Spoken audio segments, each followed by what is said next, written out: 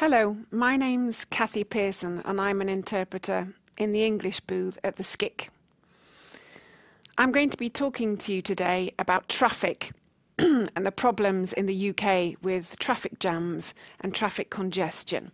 Looking at the problems first and then going on to look at the solutions that the Labour government tried to, to put in place and look at what might be done in the future.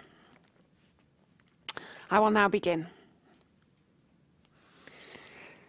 Ladies and gentlemen, I don't know if you've driven in the UK recently.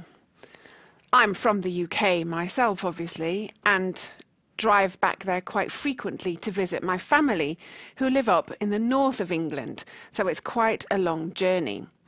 And I have to say that whenever I'm planning this journey, I get quite worried about the timing because the time at which you hit the big motorways like the M25 Ring Road motorway around London is crucial.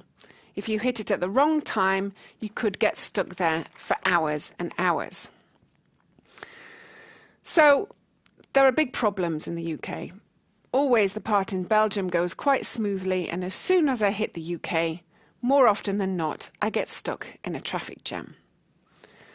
And it's not just my bad luck or my imagination. Statistics say that the UK is in fact the most congested country in the in Europe. And the traffic problems are almost four times worse than in Belgium.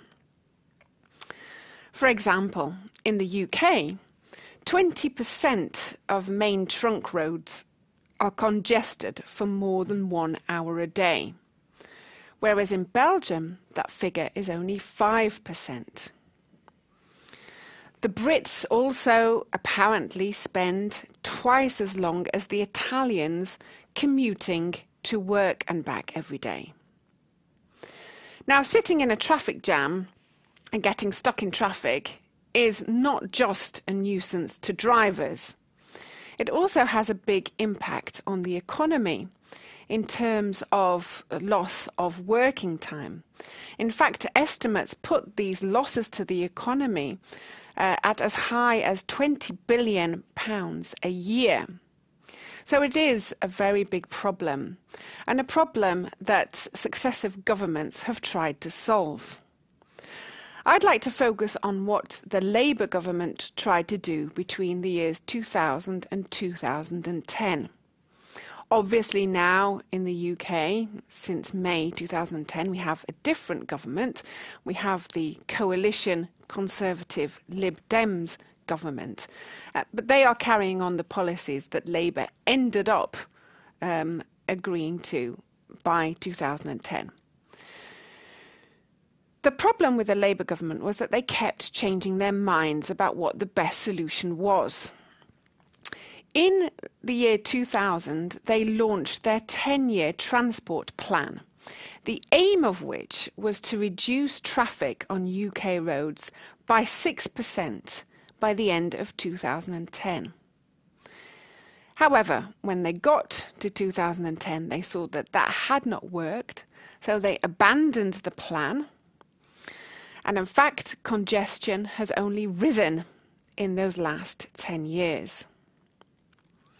Back in the year 2000, the Labour government said at the time that building more and bigger roads was not the answer to the problem. However, by the end of the decade, they were doing precisely that. They were widening Uh, some of the most congested motorways. For example, the M1 motorway, which I have to take when I go up north because it's the motorway that runs from London up to the north of England. And they're now widening that to put in an extra lane on the motorway. So, those are solutions that that government came up with. But what other solutions are there? I believe that there are other solutions, which the Labour government and the current government have shied away from. The first thing they need to do is to make public transport cheaper and better. But if anything, prices have gone up and standards have gone down. and the government would have to undertake huge investments to turn public transport around. They really need to do this, though, because if they had a better, more performant public transport system, people, more people would take public transport, and so there would be fewer cars on the road. It would also be a more environmentally friendly solution. So that's one option. The second option is road pricing, i.e., charging drivers for using the roads, charging tolls. And this has happened in London. The independent mayor of London, um, Ken Livingstone, he was the mayor at the time, introduced the congestion charging to London, charging vehicles for driving into the city. And that policy has been carried on by his uh, successor, the Tory mayor, Boris Johnson.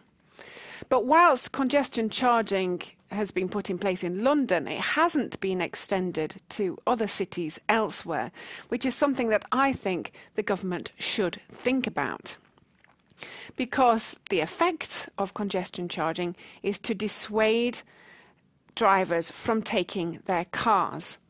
And I think that that would be a good idea. But of course, if you dissuade them from taking their cars, you have to offer them a viable solution in terms of better public transport. However, the Labour government didn't extend congestion charging or road pricing, and nor will this government because they are put under too much pressure by big drivers' lob- lobbies who are too powerful. But I believe that ultimately that's the only way that the government can go to have road pricing plus investment in public transport if we're to avoid serious traffic congestion or even gridlock in the future. Thank you.